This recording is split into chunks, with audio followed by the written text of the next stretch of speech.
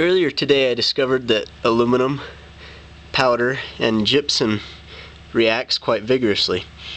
And then I got the idea of using plaster of Paris and making like a cast lump of the thermite. And so, got here a piece that I've dried now dried out and got some magnesium bits on there to light it. That helped if they stayed on.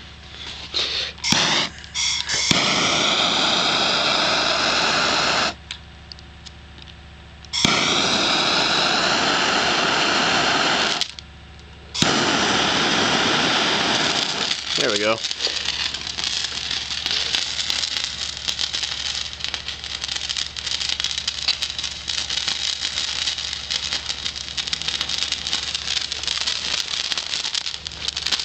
Can't really see much because it's so bright.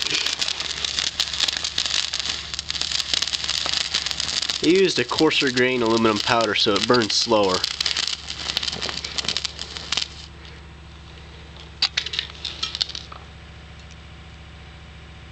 See, now he's got a puddle of glass.